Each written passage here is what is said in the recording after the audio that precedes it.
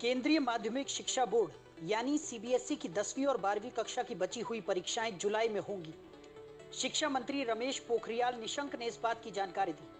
उन्होंने कहा कि सीबीएसई की बची हुई दसवीं और बारहवीं कक्षा की परीक्षाएँ 1 जुलाई से लेकर 15 जुलाई के बीच होंगी।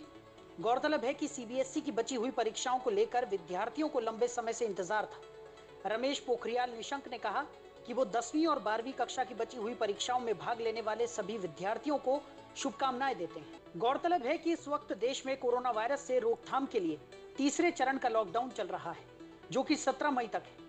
लॉकडाउन की वजह से पूरे देश में सीबीएसई बोर्ड की दसवीं और बारहवीं कक्षा की बची हुई परीक्षाओं को स्थगित कर दिया गया था, लेकिन अब इन परीक्षाओं की तारीख जारी कर दी गई है। रमेश पोखरियाल निशंक ने कहा कि दसवीं और बारहवीं कक्षा के विद्यार्थी इन परीक्षाओं की अच्छे से तैयारी करें उन्होंने कहा कि वैकल्पिक पेपरों के नंबर आंतरिक मूल्यांकन के ज़रिए दिए जाएँगे। सिर्फ़ मूल विषयों के ही पेपरों का आयोजन होगा।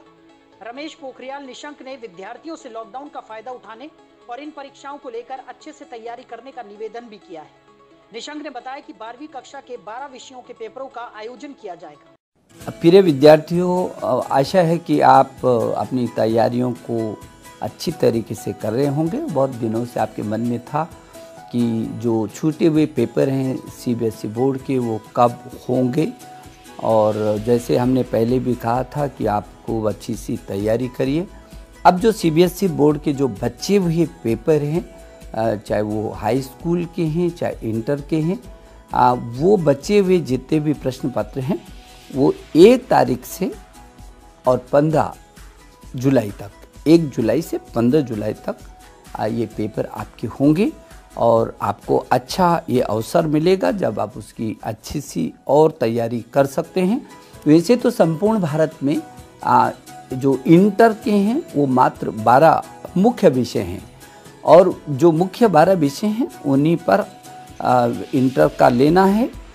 जिसमें दिल्ली आ, के जो हाई स्कूल पूर्वी ज़िले के आ, जो छूट गए थे हाई स्कूल के जो छः पेपर छूटे थे और जो बारहवीं की कुल मिलाकर के पूर्वी ज़िले दिल्ली के जो प्रस्थितिवश नहीं हो पाए थे उनके लगभग तेईस पेपर थे तो वो भी ये सारे प्रश्न पत्र विषयों के, मूल विषयों के, ये एक जुलाई से पंद्रह जुलाई के बीच होना निश्चित है।